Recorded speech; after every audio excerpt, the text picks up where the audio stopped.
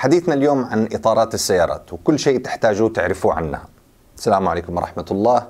عبد الحق مع أخبار الآن.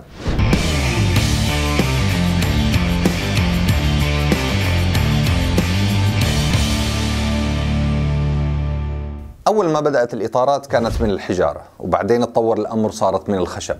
بعدين دخلوا عليها الحديد وبعدها طبقة من المطاط القوي عشان يمنح تماسك أفضل وصوت واهتزاز أقل مع المشي.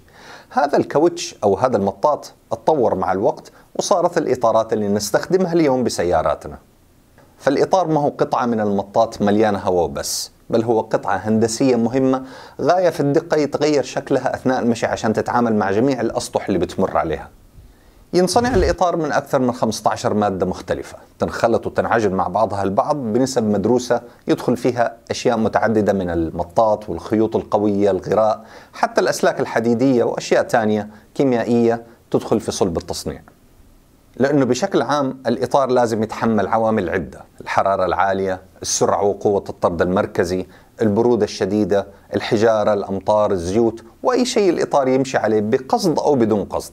لازم الإطار يتحمل كل هذه الأمور وأكثر لذلك المصنعين اتجهوا لأنه يعملوا إطار يسمى All Season أو إطار لكل المواسم. هذا النوع يستخدم فعليا في كل مواسم السنة ويتحمل كل الأحوال الجوية وينفع معها لكن بحدود.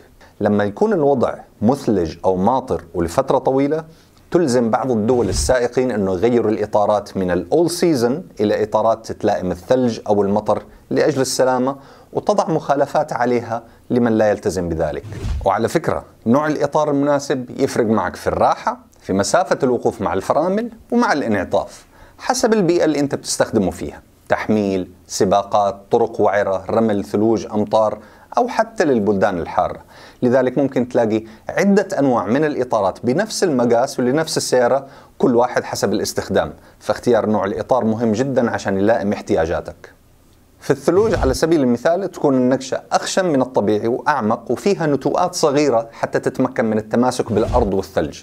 للمطر يتم استخدام إطارات فيها تفريعات تسرع من عملية خروج المياه من بين التشققات بطريقة أسرع عشان يكون السطح متماسك مع سطح الأرض تماما وما يكون في طبقة مياه بين الإطار والسطح. للبر يعتمد ليش تحتاج الإطار بالضبط؟ رمل صخور طين. بناء عليه ممكن تأخذ الإطار المناسب لهذه الطرق.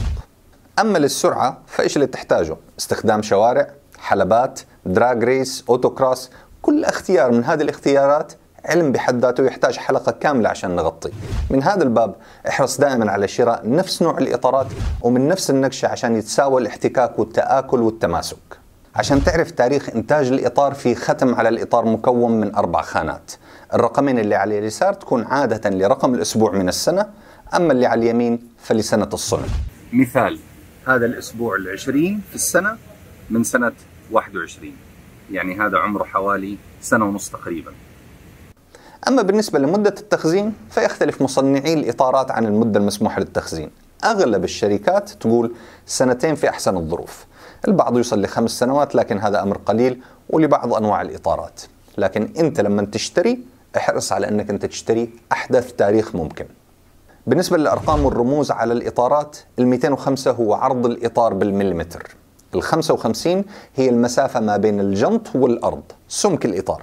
كل ما قل كانت السيارة أكثر جفاف ومتماسكة أكثر وغالبا يستخدم في السيارات الرياضية. ال 16 هو مقاس الجنط.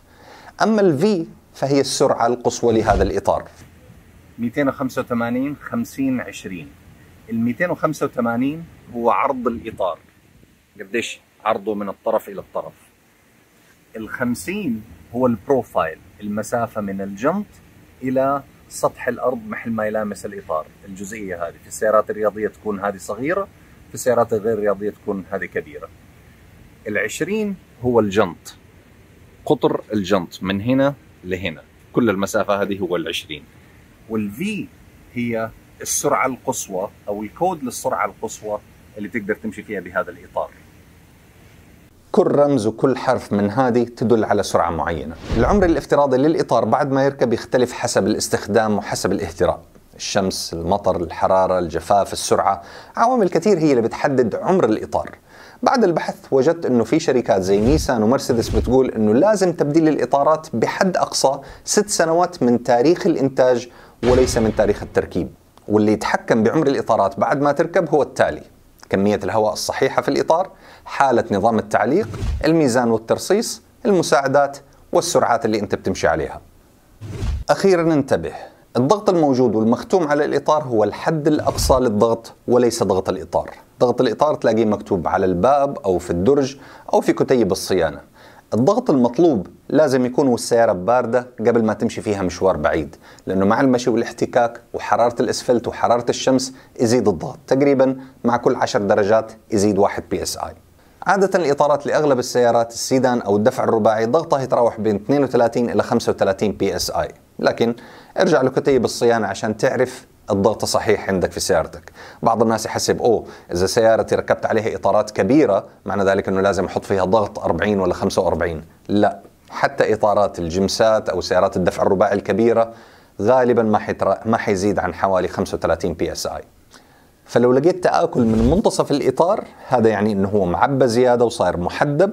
ولو كان التآكل من الأطراف للإطار غالبا معنى ذلك أنه ضغطه أقل من الطبيعي وصاير مقعر عشان كده بدأ يأكل من الأطراف. في 2005 طلع قانون واتفق معظم مصنعي السيارات في أمريكا وأوروبا على وجود مؤشر ضغط الهواء TPMS كشيء إلزامي عشان يوضح للسائق إذا واحد من الإطارات صار في خلل أو أنه نسم.